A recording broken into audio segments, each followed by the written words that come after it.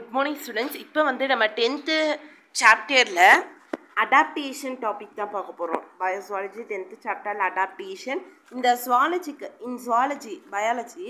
the adaptation is a dynamic dynamic evolutionary process that first that fits the organism to their environment and enhancing their evolutionary fitness. அதாவது adaptation பயாலஜியை பொறுத்தவரையில் adaptation அப்படிங்கிறது என்னென்னா ஒரு evolutionary bro process அதாவது பரிணாம வளர்ச்சியை தூண்டக்கூடிய ஒரு முறை இதில் வந்து அந்த ஃபிட் ஃபிட்ஸ் த ஆர்கானிசம் ஒரு ஆர்கானிசத்தை வந்து நல்லா ஃபிட்டாக வச்சு அந்த என்விரான்மெண்ட்டுக்கும் ஃபிட் அந்த என்விரான்மெண்ட்டுக்கு தகுந்த மாதிரி மாற்றி அந்த எவால்யூஷனரி ஃபிட்னஸை வந்து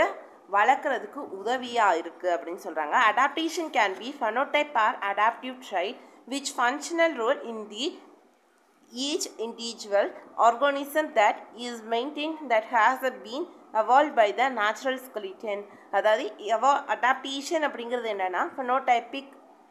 Uh, phenotypic with a functional role in each individual organism. ஒவ்வொரு ஃபங்க்ஷனல் ரோல் அதாவது ஒரு உயிரிக்கு ஒரு ஃபங்க்ஷனல் ரோல் இருக்கும்ல அந்த ஃபங்க்ஷனல் ரோலோட அந்த ஃபெனாடைபிக் அடாப்டேட்டிவ் ட்ரைட் நம்ம ஒரு இடத்த சார்ந்து வாழ்கிற அந்த பண்பும்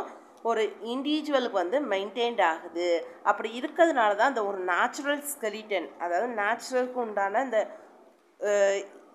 தக்க அமைப்பே வந்து இருக்குது அப்படின்னு சொல்கிறாங்க next the adaptive the adaptive traits may be structural adaptation behaviour adaptation physiological adaptation அதாவது இந்த அடாப்டேஷன் வந்து ஃபிசியாலஜிக்கலாக இருக்கும் அப்புறம் ஸ்ட்ரக்சரல் அந்த ஸ்ட்ரக்சரை பேஸ் பண்ணி இருக்கும் பிஹேவியர் பேஸ் பண்ணி இருக்கும் ஃபிசியாலஜிக்கலை பேஸ் பண்ணி இருக்கும் அப்படின்னு சொல்கிறாங்க ஒவ்வொன்றையும் பற்றி பார்ப்போம். ஸ்ட்ரக்சரல் அடாப்டேஷன் அப்படிங்கிறது என்னன்றது ஒரு வீடியோவாக பார்ப்போம்.